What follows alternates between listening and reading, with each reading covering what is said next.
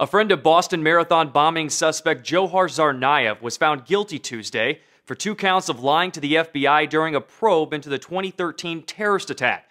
Some are now speculating the deliberation in Robel Phillipos' conviction might affect how Tsarnaev's case is handled. First, some background.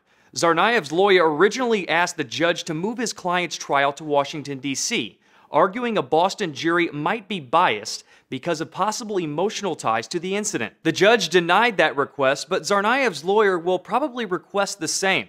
His chances of switching cities also look slim. Why? Well, let's go back to the Phillipos verdict for a second. A Boston jury only found the 21 year old guilty of about half of what prosecutors called false statements during interrogations.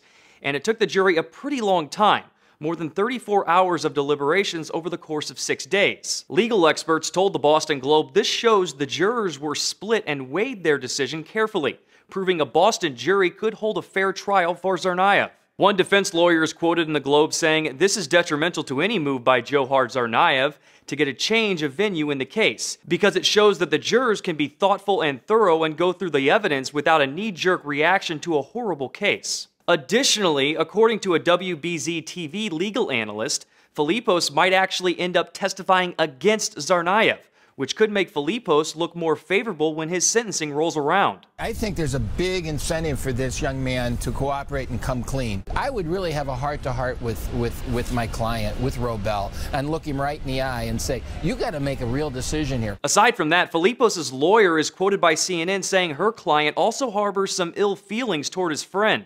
I don't believe that Robel Phillipos has ever been more angry at a person than he was at Dzhokhar Tsarnaev when Robel found out that Dzhokhar Tsarnaev did what he did in this case. He was absolutely mortified. Phillipos faces a maximum of 16 years behind bars. His sentencing is scheduled for January 29th.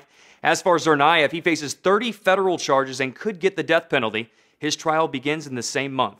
For Newsy, I'm Jay Strubberg. Influence by the military industrial complex.